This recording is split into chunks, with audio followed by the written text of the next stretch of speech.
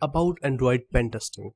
In this video, we are going to take a look at a couple of points. First of all, we will learn about Android pen testing overview and then what is the process to perform penetration testing inside Android that we are going to cover here. So what is Android pen testing? In the first point you can see here that Android pen testing is used to find out vulnerabilities in Android applications. So for example, this is your Android phone inside Android 4 there is an app available right? Now our work is to find out that this app is actually secure or not. So how we can find it? It's quite easy that uh, we need to perform different different kind of actions on this app. For example reverse engineering. We can perform reverse engineering on this app to find out the source code of this application. And inside that source code uh, we can analyze that the source code is actually secure or not. Because if the source code or the coding files of the app is not secure that app is surely insecure app.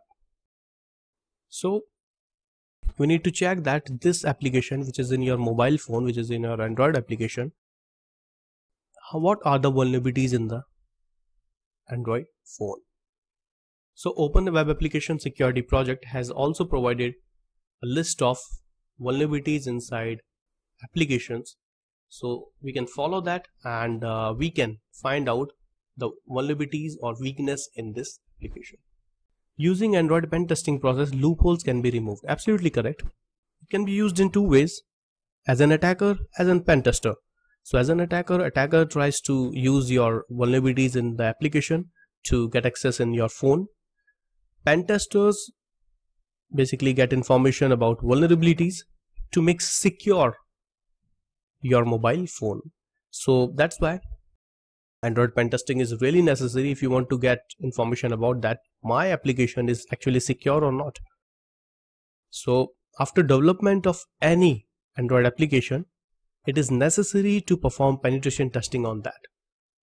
Because if you directly deploy that android application then it is harmful for the client. So before deploying that application, try to perform penetration testing on the app. Create a report, find some vulnerabilities, remove those vulnerabilities, patch it, and then finally deploy it. So this is the process of Android penetration testing. This is the basics of Android pen testing that I wanted to tell you. In the next video, we will learn about the scope of Android pen testing. Thank you.